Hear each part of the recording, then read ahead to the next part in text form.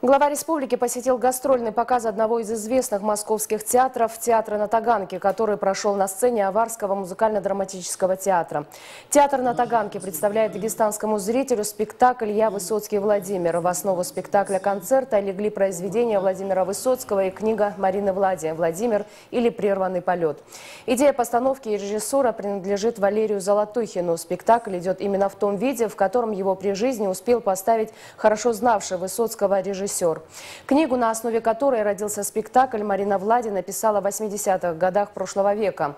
На сцене говорится только о любви, которая неразрывно связывала Высоцкого и Влади. В спектакле продолжительностью два часа участвуют заслуженные артисты России Любовь Черкова и Валерий Черняев.